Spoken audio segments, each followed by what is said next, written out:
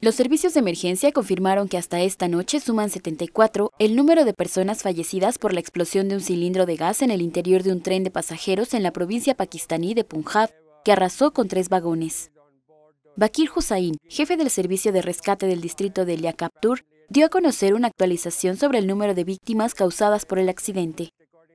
El tren de Tesgam se dirigía de la sureña ciudad de Karachi a la oriental Rawalpindi, cuando un cilindro de gas transportado por un pasajero explotó provocando un grave incendio que destruyó tres vagones, dos de clase económica y uno de clase ejecutiva. En una conferencia de prensa, Hussain explicó que los cuerpos serían identificados a través de pruebas de ADN, ya que muchos quedaron totalmente carbonizados y es imposible su reconocimiento.